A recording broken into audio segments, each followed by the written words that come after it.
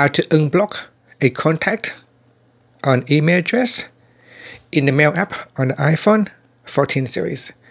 First, let's go back to the home screen by swiping up at the bottom of the screen. From the home screen, tap on Settings. In Settings, swipe up to go down and tap on Mail.